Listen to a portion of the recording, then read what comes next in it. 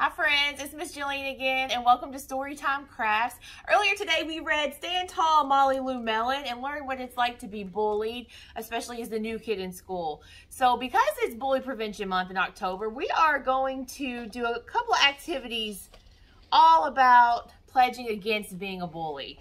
So inside your October craft kits, the first thing you'll see printed on cardstock is this pledge. And the pledge is something that we sign and we agree to live by. So this says, I am a kid against bullying and I will speak up when I see bullying. So if you see something happening, you tell a grown up. Reach out to others who are bullied. So if you know of a friend that's being teased or bullied, you can make sure you talk to that friend, check on them, and comfort them also to be a friend whenever I see bullying. So to continue to be a friend and don't ignore that person that's being bullied. So what we're going to do with this is sign our name or write our name at the top. And I know a lot of us can't do that yet. So maybe our grown-ups at home can help us. And after you do that, I'd love for you to hold on to this. You can either keep it on your refrigerator so you can see it every day, hang it up in your room, you can put it in a scrapbook maybe for a memory if you want to, whatever you like to do. But I hope that you hold on to it. And every time you see it, you remember how important it is to, for one, not be a bully. And two, if you have a friend or if you experience bullying, the things that you can do to help in a situation like that. So I'm going to write my name and then we'll get started with our with our craft activity.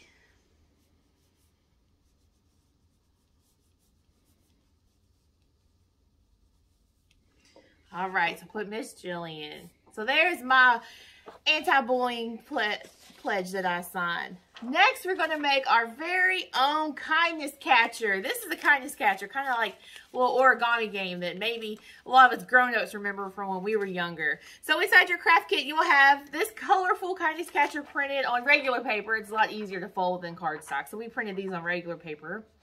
And you'll have this sheet, which is directions. These are really helpful because I haven't made one of these in a very long time. So, our first step we want to do is cut this out along these dotted lines. So we want like a perfect square, not the whole sheet of paper. So we're going to cut out these dotted lines around the edge, okay?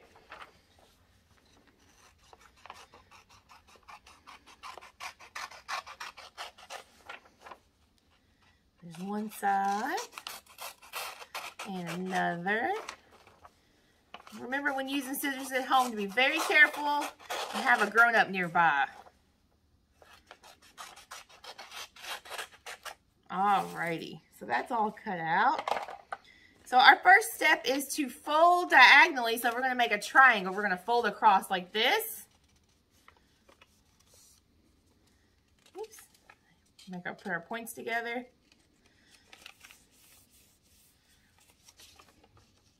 I'm going to do it both directions. It just makes it function a little bit better in the end.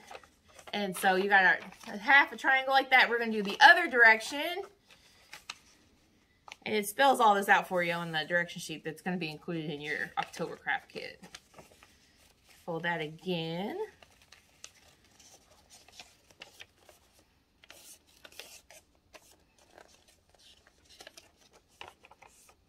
All right. So now we're going to take the, we want to have the white, the plain side facing up. That's going to be the inside so that when we unfold, we will have our colors and words showing towards us. So we're going to fold each corner in like this. So all of our little characters will face up.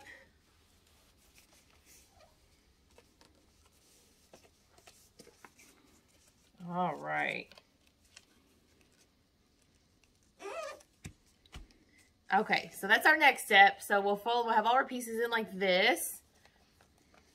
Then we're going to fold again the same the same type of direction, so that each corner in. So this time we will have, whoops, let's see.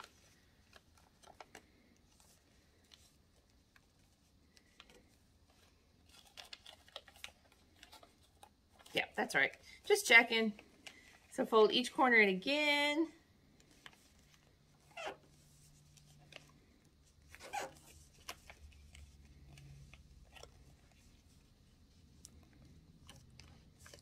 So it should look like this on one side, similar on the other.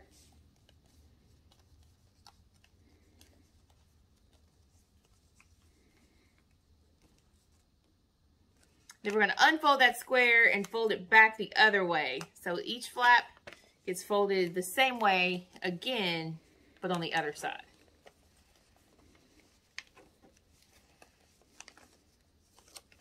There we go.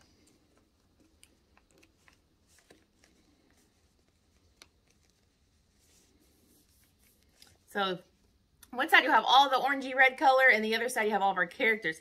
And we're going to fold it again in half so that our characters are facing outwards. I'm going to do it both ways just so it's easier to, to move. And then both directions.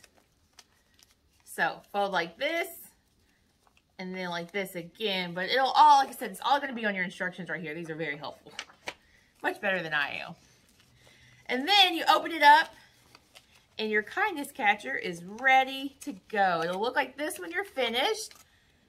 There's all of our different anti-bullying characters. So I'm just gonna, I'm gonna count, we'll say number three.